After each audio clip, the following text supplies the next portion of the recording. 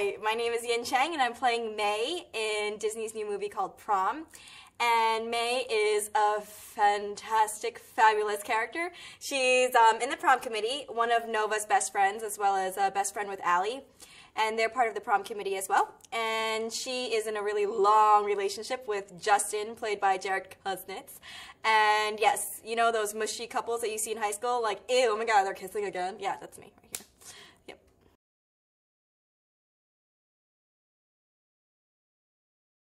Yeah, Stefan. Oh, for sure. Are you kidding? We have the the loner, the mushy couple, um, the popular girl, the smart girl that's beautiful and um, but not extremely popular, but was someone that everyone could talk to. We all have that, and yeah, basically represents everybody. And we have a wide variety of ethnicities, so it's wonderful.